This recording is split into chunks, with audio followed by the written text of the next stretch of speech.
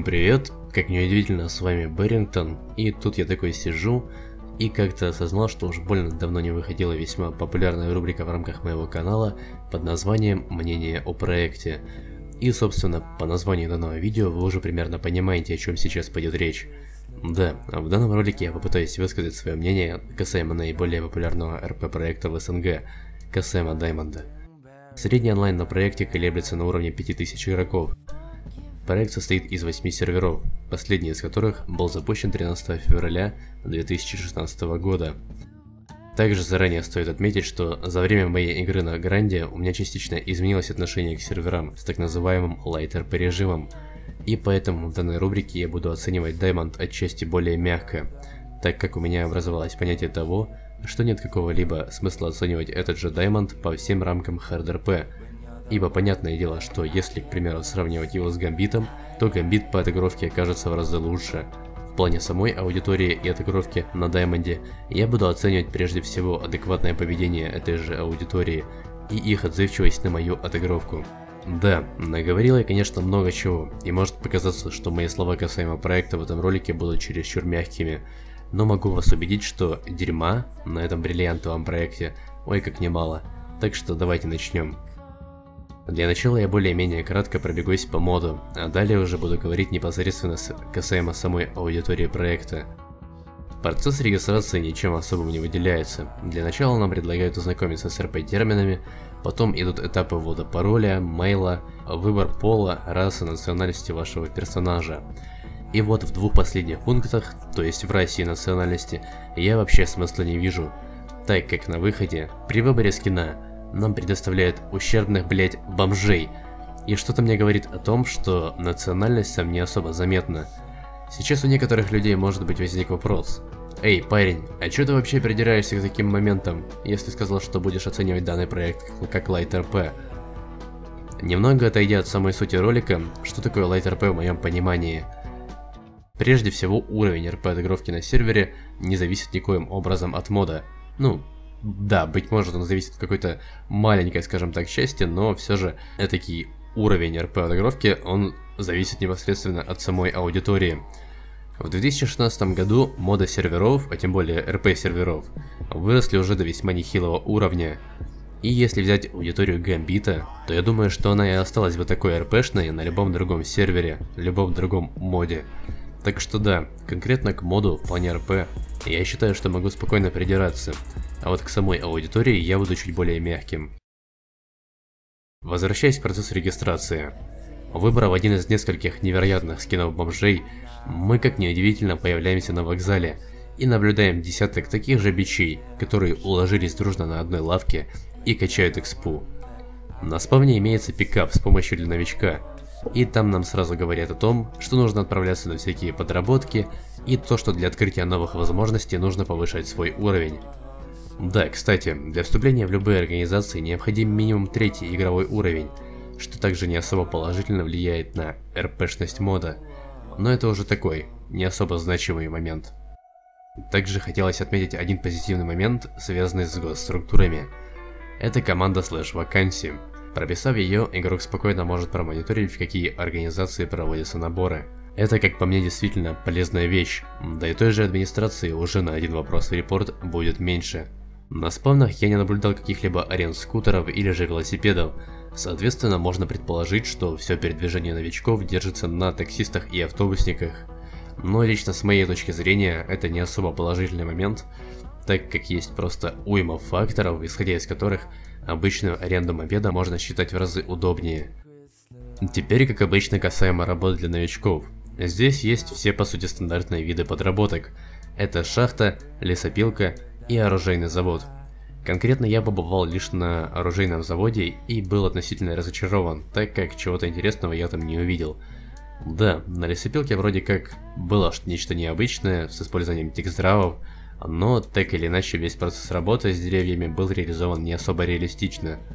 Подведя очень краткий итог работам для новичков, я могу сказать, что ожидал большего, так как проект все же весьма известен и уже, скажем так, по умолчанию вы ожидаете увидеть чего-то нового. После начальных работ логично предположить, что игрок будет пытаться вступить в какую-либо организацию. Я с этим немного подзапарился и нашел аккаунт третьего уровня. Что из этого получилось, давайте посмотрим. Побывал я в немалом количестве организаций, и о своих таких путешествиях буду рассказывать во всех подробностях. Первой фракцией, которая попалась на моем пути, стала радиоцентр Сан-Фиерро. За время, пока я находился в очереди, я успел понаблюдать за тем, как проходит процесс собеседования. И, сука, как же у меня пригорает от всяких якобы проверок на РП по типу «сядьте», «встаньте» в разные чаты, всякие аббревиатуры РП-терминов в IC-чат и тому подобные моменты. Да, я прекрасно понимаю, что это некие стандарты, которые сложились еще около пяти лет назад. Но черт побери, собеседование можно спокойно провести и без подобных вопросов. И проверить человека на адекватное понимание РП-процесса можно путем обычной беседы. Возвращаясь к самому собеседованию, могу сказать, что проверяющий в принципе к моей отыгровке отнесся положительно, что было заметно исходя из сообщений в ВОС-чат. Как оказалось, для вступления в организации помимо уровня необходим еще пройденный медосмотр с водительскими правами, так что я отправился заниматься оформлением этого дела. Процесс получения прав, как по мне, весьма интересно сделан. Да, первоначально это обычная сдача теории, но это практики это не просто покатушки по городу на машине, а совместная поездка по треку на задней части автошколы, совместно с ее сотрудником. Единственное, что немного разочаровало в этом всем, это то, что сотрудники просто сидели на биндерах, и какие-либо способы завязать диалог помимо сдачи экзамена с этими сотрудниками завершились неудачей. Получение медкарты я не вижу особого смысла делать на системном уровне, но так или иначе особого напряга это не дает. Обычная беседа с сотрудником больницы, дать ответы на пару вопросов и медкарта уже в вашем распоряжении. Получив все необходимые документы для собеседования, я, собственно, на это же собеседование и вернулся – Приняли меня без особых проблем, но лично мне не очень понятно, зачем все же задавать мне вопросы по типу «что у меня над головой?» и все в этом духе. По большей мере так проверяют конченых даунов, которые не отыгрывают передачу паспорта и подобные моменты. Но если человек, то бишь я, все отыграл достаточно подробно, то заниматься столь тупой проверкой я смысла вообще не вижу. От самой фракции я и не ожидал чего-то интересного, с самого начала мне били, мол, нужно сдавать всякие правила, тесты, но понятно, что я этого делать не планировал. Побыл в организации я около получаса и могу сделать небольшой вывод, что в целом руководящий состав ведет себя вполне адекватно, исходя из того, каким образом он со мной беседовал. После радиоцентра Сан-Фиера я решил очень сильно скреативить и дальше отправился в радиоцентр Лос-Сантоса. Там, по сути, собеседование было проведено в похожем формате, что и в СФ, но проверяющая личность явно была наделена чуть большей долей интеллекта, и он еще умудрился со мной завести беседу, которая не относится к обычной проверке документов. Я сочинил историю, мол, пришел на собеседование исключительно из-за нужды в деньгах, потом рассказал очень краткую историю о якобы бизнесе моего брата, и меня действительно радовало, что проверяющий не только адекватно отреагировал на мою отыгровку, но и со своей стороны проявил интерес к истории моего персонажа, что, кстати говоря, реально весьма удивительно для сервера с так называемым лайтер по режимом. Так или иначе, в организации я тоже особо долго не задерживался, ибо новости при любом раскладе остаются новостями, и особо интересных занятий там мало. Еще немного отойдя от рассказов, связанного с моим путешествием по организациям, хотелось бы повторно сделать некий акцент на моменте трудного передвижения по штату для новичка – за время, пока я бегал по всем фракциям, я успел не слабо так настрадаться с автобусниками и таксистами. Основная проблема, как я говорил, в том, что аренд скутеров элементарно нет. Автобусники не всегда могут оказаться в нужном месте в нужный момент. Да, казалось бы, логично, вызвал такси и все нормально. Да и онлайн вроде такой, что таксисты постоянно будут. Но не тут-то было. Есть такой момент, что если поблизости нет таксистов, то элементарно даже вызвать их не получится. Не знаю, какой радиус у этого промежутка доступности таксистов, но, к примеру, даже находясь у больницы Лос-Сантоса, мне писало, что поблизости таксистов нет. Думаю, не стоит говорить о моментах, когда игрок находится в более отдаленных местах. Ну и вновь возвращаясь к моему рассказу о путешествии по фракциям, я уже поведу речь о том, как я пытался попасть в какую-то из мэрий. Города уже, к сожалению, не помню. Изначально собеседование шло в обычном духе. Проверяющий челик юзал биндер, игнорируя мою отыгровку, и по итогу выдал мне бланк. и сказал, дабы я его заполнил, и попросил потом OS чат, чтобы я ему в смс отписал нужные термины. Я, естественно, этого делать не стал, ибо OS чат к РП-процессу отношения никакого не имеет. В свою же очередь я в спросил у него, какие поля для заполнения имеются в бланке. Но по итогу он тупо проигнорировал мои вопросы и лишь требовал ответа в смс. Да, весьма печально, что на проектах присутствует большая часть вот таких вот парней, которые просто, как мне кажется, не получают толкового удовольствия от игры, а выполняют свои задачи, юзая биндеры будто какие-то роботы. С этой мэрией, как вы уже поняли, у меня не срослось. Соответственно, я решил не сдаваться и отправился в другую мэрию. Опять же, город, увы, не припомню. Здесь было все примерно по тому же раскладу, что и в предыдущем учреждении. Я вроде как нормально отыгрывал, но по итогу ко мне пристали с тем моментом, что я игнорирую OS-чат. Кстати, и этот проверяющий также просто в тупую игнорил мои вопросы с лэжду. То ли этот чат здесь вообще не используется, ну или это мне так повезло, что попались такие уникумы. По итогу я мило попрощался в OS-чат с проверяющим, и самое веселое во всей этой ситуации, что по итогу он меня еще и пытался унизить обвинениями, мол, думаешь сделал бинт и крутой? Я с этого момента вообще дико проорал, вот прям от души. Как вы уже поняли, то и со второй мэрией у меня также дела не пошли. И нет, в третью мэрию я не отправился. Следующей организацией, которая попалась мне на пути, стала больница Лос-Сантоса. Здесь все прошло уже по более-менее адекватному раскладу, и хоть главврач пытался добиться от меня ответа в смс касаемо терминов, но по итогу все же, как говорится, моя взяла, и он мне кинул инвайт без этих ответов. В организации я побыл около одного дня, и опять же, здесь все идет через чистую такую дрочку отчетами, сдачи различных экзаменов и тому подобных моментов. За один день я уже прекрасно осознал, что все в составе фракции пытаются как-то максимально выслужиться перед начальством, и о каком-то толковом РП речи также идти не может. Биндер forever, как говорится. Последний год фракции, в которой я побывал, стала армия, и при собеседовании, хоть с моей стороны и была адекватная отыгровка, но опять же, от меня требовали РП-термины в СМС. Тут я уже решил их написать, ибо любопытно было, чего уж там в армии такого происходит.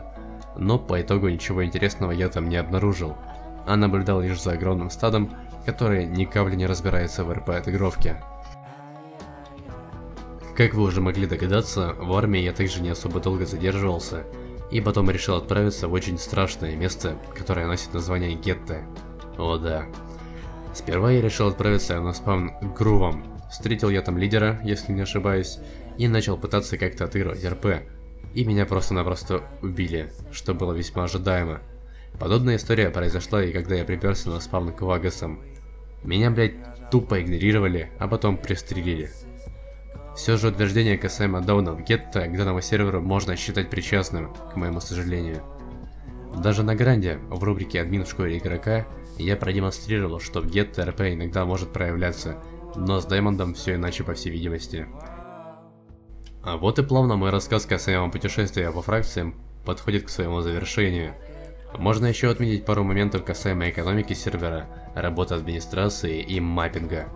Экономика здесь, мягко выражаясь, ущербна. Донат много чего решает, скины по своей стоимости доходят до полумиллиона, и это как минимум ненормально. Администрация на вопросы в репорт в большинстве случаев отвечает, но все же, когда задается вопрос не по типу того, где ответ должен составлять одно-два слова, то шанс игнора от админов чуть возрастает.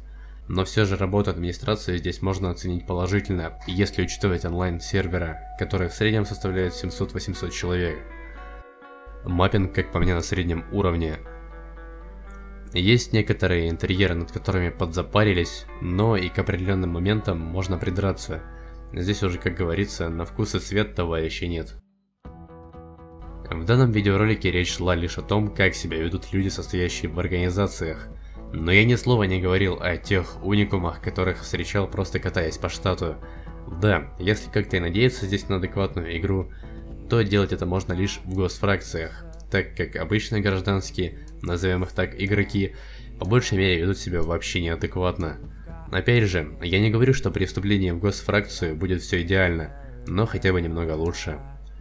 Игра на начальных рангах в организациях просто максимально скучна. Но также стоит отметить, что буквально за пару дней можно нормально себя проявить перед лидером, повыситься по-быстрому в должности, и играть уже будет чуть-чуть интереснее. Меня действительно радует, что есть некие лидеры, которые действительно ценят РПшных людей и относятся к ним чуть иначе. В целом, я думаю, уже можно подводить некие итоги данного обзора и какие, собственно, выводы я могу сделать.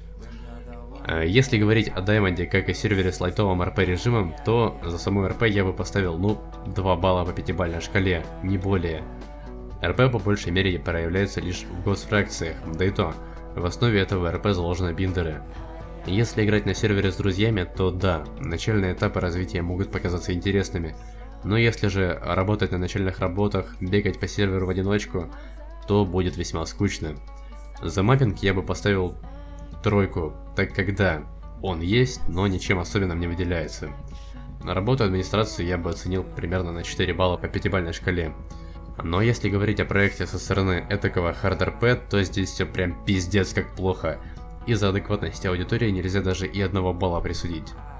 Стоит ли играть на Даймонде? Скорее нет, нежели да. Проект, проект подойдет лишь для игры в том случае, если вы хотите обрести какую-то популярность в кругах самперов, то есть можно попытаться стать на лидерку или что-то в этом духе. Ну и еще можно рассматривать вариант игры с друзьями. А для адекватной РП-отыгровки создание какой-то атмосферы данный сервер явно не подойдет. На этом данный видеоролик подошел к своему завершению. Благодарю за просмотр, выражай свое мнение касаемо проекта в комментарии, ставь лайк и подписывайся на канал, мне будет приятно. До скорого.